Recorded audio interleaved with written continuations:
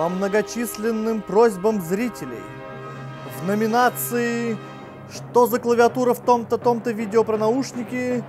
побеждает Озон Страйк Батл!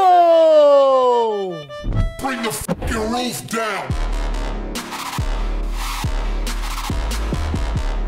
Эта клавиатура настолько маленькая, что я сначала подумал, что она для планшетов. Ну реально.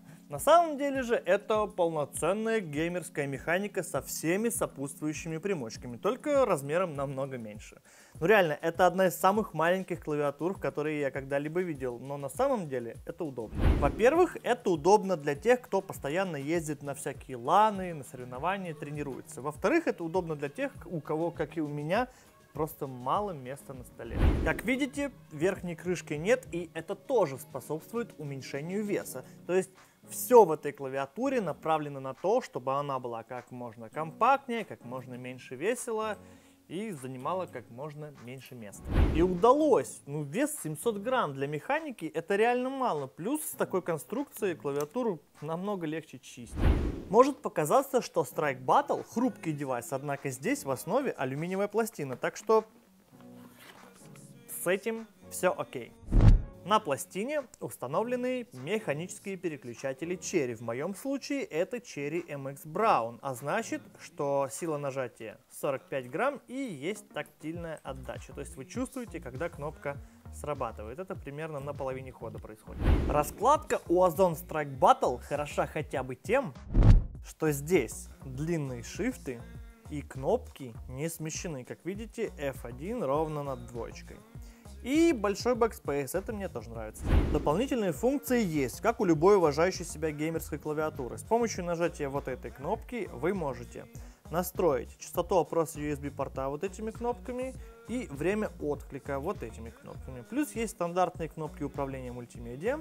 Дальше идет кнопка отключения клавиши Windows и кнопка подсветка. Подсветка может мигать, может быть на 30%, 60% и 100% яркости. Ну или можно ее совсем выключить. Вот эти кнопки превратились в макроклавиши, то есть дополнительные функции, например, Page Up может быть какой-то макрос, который вы на него повесите. Кроме как на эти кнопки, вешать макросы на другие кнопки вы не можете.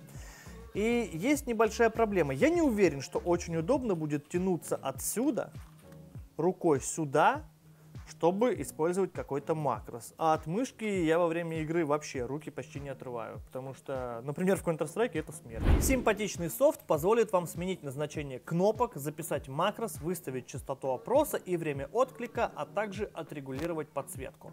Ваши настройки вы сохраняете в 5 разных профилей, которые клавиатура запомнит. Правда, переключаться между ними вы сможете только в дровах, что не очень, как по мне, потому как на ланах частенько бывает запрещен доступ к проводнику и установить дрова для клавы нереально. Провод тонкий, и не очень-то и длинный, всего лишь полтора метра. Он в тканевой оплетке и с эффектом памяти. Многим не нравится вот этот эффект памяти, потому что провод плохо распрямляется и так далее. Но, как по мне, пусть он лучше плохо распрямляется, но зато будет лучше защищен от перетирания. И грязи тоже. Получается, что это одна из самых компактных игровых механических клавиатур, что я видел. Есть, конечно, свои недостатки. Например, то, что она ездит по столу, смотрите, есть, конечно, здесь резиночки и все как надо. Есть здесь, здесь, здесь, вот здесь резинки. То есть все должно быть окей. Но Однако это все излишки того, что клавиатура очень легкая. Еще один недостаток – тусклая подсветка кириллицы. Однако тут ничего не поделаешь, с этим придется смириться. Классно то, что здесь вообще стоят переключатели Cherry. Сейчас это большая редкость. Ну и плюс конструкция. С ней очень легко клавиатуру чистить. На этом все. С вами был интернет-магазин FUA. Меня зовут Макс. Подписывайтесь на наш канал на YouTube. Заходите на наш магазин, покупайте игровые девайсы. И G... Э, GG.